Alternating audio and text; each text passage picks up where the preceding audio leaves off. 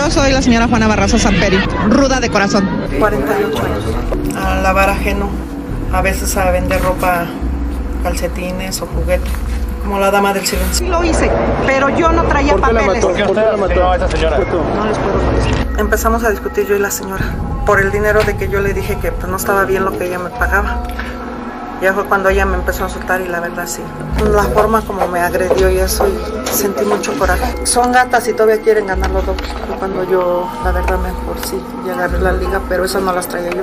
La verdad, perdí la cabeza. Por sus circunstancias exteriores de ejecución y peculiaridades de la sentenciada, se le impone una pena privativa de libertad de 759 años, 17 días de prisión. Es injusto porque no estoy de acuerdo.